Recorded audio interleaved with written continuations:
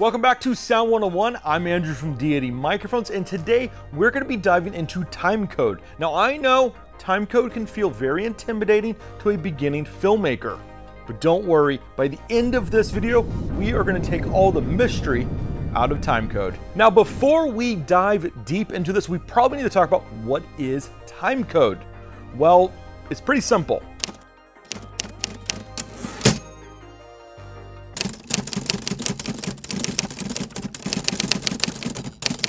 Let's see how that comes into play in pre-production with producer Moses over at Cinepacks.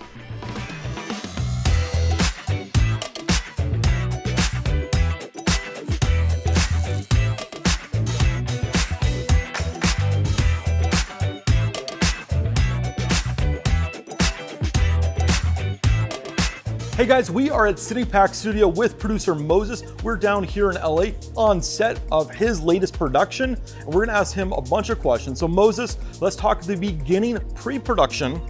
We need time code on a set, but how do we convey information from you to the people you're hiring? What are some of the kind of questions that we need to be talking about at the very beginning?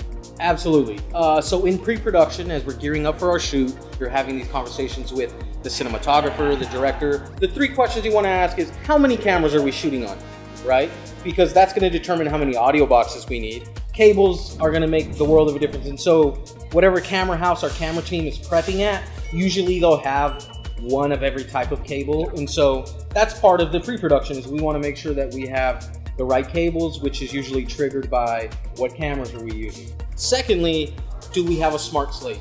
Smart slate is going to be able to take all the information from all three cameras, digitally display it right on that smart slate, which is going to help in post. The last question is what are our frame rates? Okay. So we always want to ask what the frame rates are because we want to make sure that the audio box communicating to the cameras, communicating to the smart slate, all of that needs to be in sync. Who on a production is selecting the frame rate? Is it you, the producer? Is it the cinematographer? Is it the post supervisor?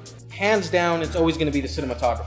Sometimes it might come from the director, but if you remember, what's the cinematographer's job? Is to bring the director's vision to life.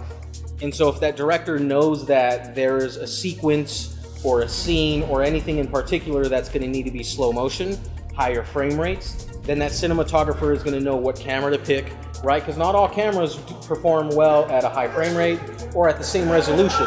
So cinematographers, most likely, they're the ones that are going to pick the frame rates dependent on what the director wants. And again, frame rates, that's known about like probably a week or two out before the project. Yeah. So in that same kind of questionnaire that you have with your producer about how many cameras, what frame rate and everything, you're gonna have all that well in advance so you can be prepped for your shoot. Thank you, Moses, for giving us this time. We know you got a shoot to get to.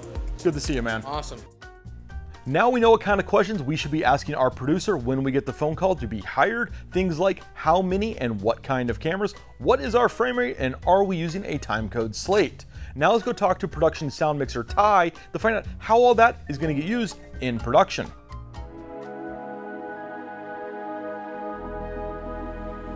So what is it we need to do first and foremost in terms of communication? Who are we talking to on set? That would be the first AC because that person is going to help us put the time code onto the camera.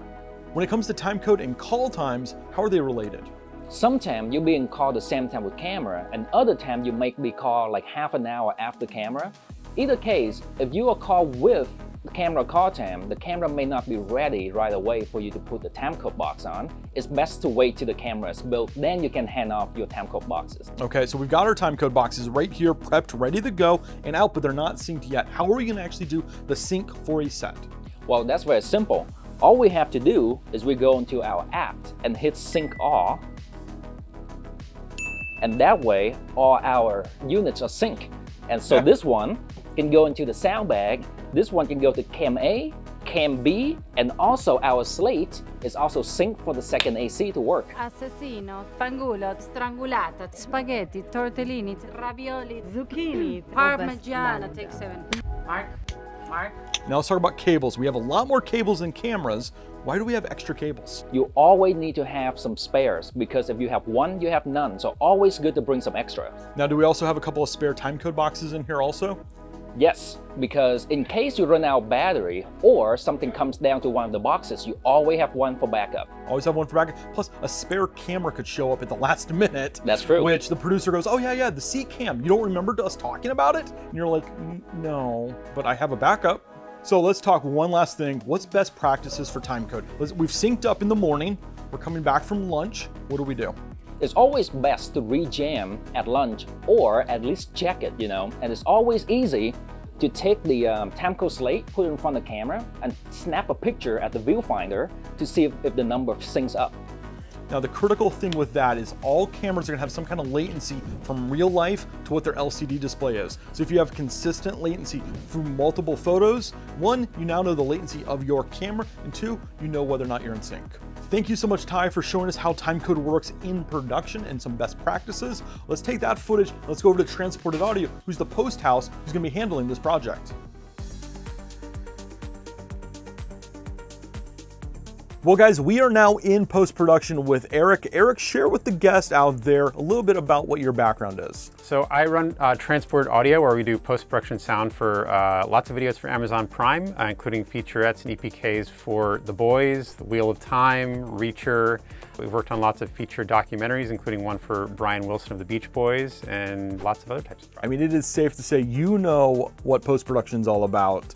So we're gonna get to the heart of it. Why is timecode so important for post? So timecode keeps a universal uh, language for everyone to know here is exactly in sync and there's no way of slipping that in a way that would make anything seem off to the audience. I like that phrase, universal language. Everyone is speaking the same language. We all know what we're talking about. There's other ways of syncing that have been done in the past, like waveform syncing a little bit less popular than it is today. But let's talk about why timecode is better than waveform syncing. Well, the waveform syncing, you're assuming that every mic is in the exact same position and next to each other and that there's no distance or reflections or anything to account for.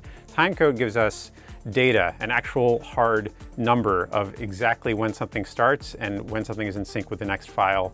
And everything is exactly precisely in digital sync and there's no slipping, there's no accounting for distance or anything like that. Yeah, I think accounting for distance, the time that sound travels is the latency that you're gonna be off if you do waveform syncing. Yes, yeah, no question. But when you have something like timecode, you have a hard number to know every department knows this is sync and there's no ifs, ands, or buts about it, and everyone can communicate that around the world instantly to know that is your number. Let's talk about the number side, the time, the effort, and more importantly, the money that can be spent in post if you don't have time code. Uh, studios expect things faster and faster nowadays. If you can't get deliver in time and on budget, you're dead in the water. So um, it's important to be able to get to that creative process as quickly as possible.